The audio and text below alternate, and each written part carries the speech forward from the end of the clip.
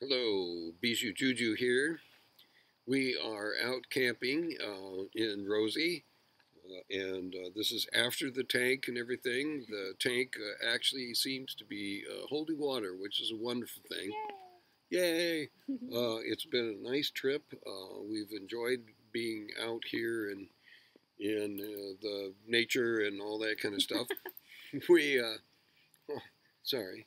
Um, I don't know. This is just a hodgepodge stuff. Uh, us making coffee in an AeroPress without a filter. That's pretty dang exciting. And uh, what else did we put on here? You don't remember. Pictures of the trees, I think. Pictures of the trees and stuff. I don't know. And then somewhere near the end, where we played a song that we wrote, uh, and and so there's that. And so enjoy the video and and we'll talk to you in a few minutes. Short and sweet. Right? Yeah, well, sort of. I don't know about sweet. Just wanted to show you this. We use this little grinder. Way, way back, we did a, a video about this. Um, we use this little grinder and an AeroPress to uh, make our coffee in Rosie. In fact, we use the AeroPress all the time now. We used to use a, a, French press and then read that the French press really isn't all that good for you. And our, we keep breaking ours. so we use the AeroPress all the time. AeroPress comes with little filters that fit in the bottom down here. See, they're down way down there. And you pour your coffee in there and then, you know, do the thing. Well, we forgot the dang filters. So we are using doubled paper towels. It doesn't work all that well, but when it's that or no coffee, it's paper towel filters. So yesterday I showed you how we use paper towels for our AeroPress. That didn't work so well. Uh, it just ran right through. The paper towels weren't, um, I don't know, whatever, dense enough or whatever, uh, like the filters, and it ran right through the paper towels even though we doubled them it just went right through. And uh, so we had kind of coffee tasting water. So today, Mick decided she would boil it in that pan right there. And she boiled coffee grounds in there, so we're sort of making cowboy coffee. But to filter out all the grounds and, and the crap, we're putting it through the AeroPress with the paper towel filters, which seem to filter out the garbage, but didn't hold the coffee long enough for it to brew in there. So, uh, this is all to say that we are dedicated coffee drinkers and will go to absolutely the ends of the earth to make coffee. Great lengths shall be spent to make coffee in the Bijou Juju world, which is not that sane of a world sometimes. Now, I just wanted to tell you that that is the finest damn cup of coffee I ever had. And here's Mick's. Terrible. Real strong and gross and burnt tasting. now, don't tell me that we here at Bijou Juju do not know how to have a good time. Here's Mick drinking a Truly, eating her gluten-free crackers, oysters. With an oyster. I am having a glass of wine. And this all in the midst of a storm. Can you see the trees blowing around?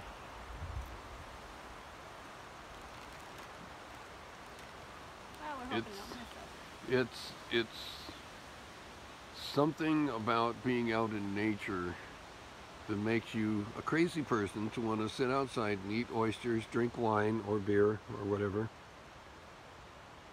I'm, in the middle of a storm. I'm two.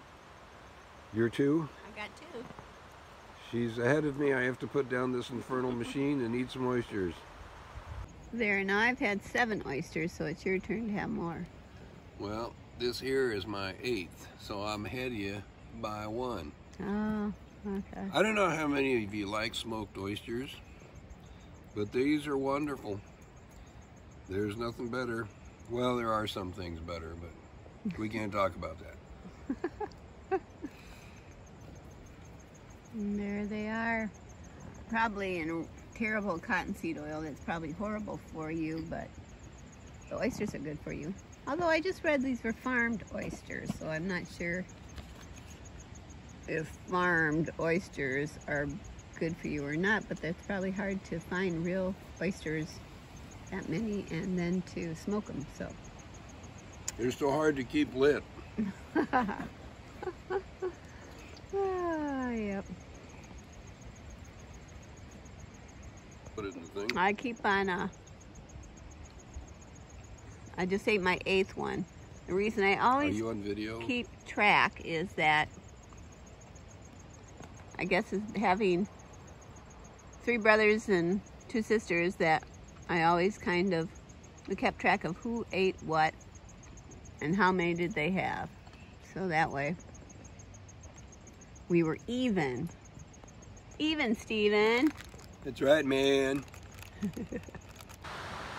These trees, I don't know if you can tell, it doesn't look like it on the video so much, but holy cow, some of these trees are really rocking in this wind. It's not really blowing that hard. I guess maybe 15 miles an hour. It's not that big a deal, but man, they're going like crazy. I hope I can remember. Here we are. This is it. an original song played out in the woods by Bijou Jadoopadoo. One, two, three, go.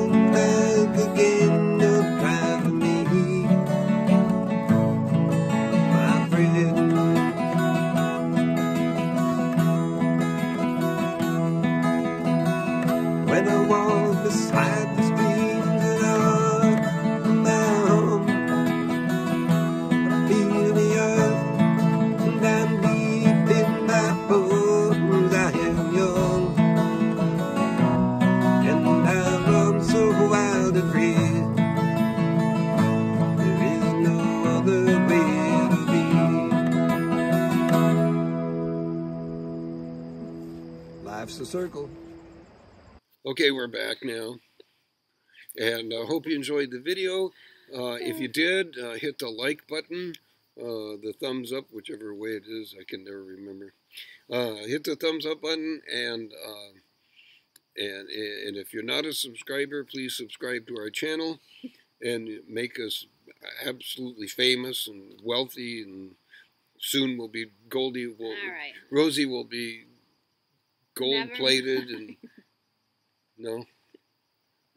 Okay well anyway like our video and please subscribe because it makes us feel like we're loved. Bye.